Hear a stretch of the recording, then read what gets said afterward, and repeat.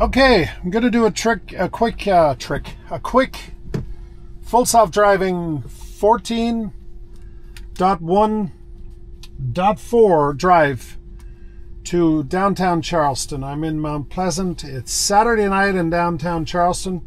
We're gonna go over the uh, Arthur Ravenel Bridge, and um, let's see, let's see how it does. Now, 14.2 is out already, and uh, Omar and the guys are making videos around New York City and it is performing perfectly.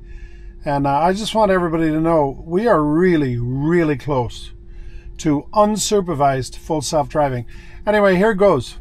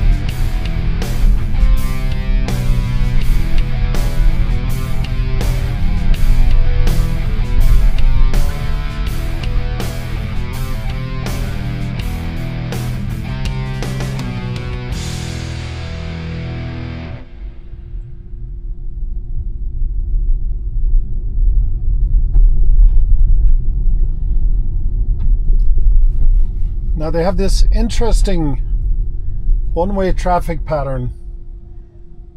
Notice how it stopped for those pedestrians right there? They actually were walking illegally. The car saw them and it stopped. They have this unique traffic pattern downtown Charleston on Friday and Saturday nights because of the crowds.